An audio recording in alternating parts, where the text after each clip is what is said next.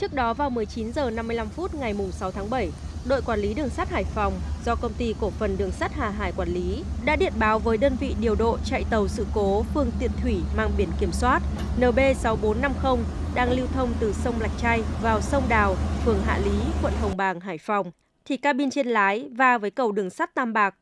Vụ va chạm mạnh đã làm xô lệch đường sắt so với tim đường khoảng 70 cm. Vì vậy, điều độ đã cấm chạy tàu để đảm bảo an toàn, đồng thời phát lệnh cho các đơn vị đường sắt giải quyết, khắc phục. Theo tin từ Tổng công ty Đường sắt Việt Nam, vào 10 giờ 45 phút sáng nay, ngày 7 tháng 7, chuyến tàu hàng chạy thử với vận tốc 5 km/h đã qua cầu đường sắt Tam Bạc, Hải Phòng thành công.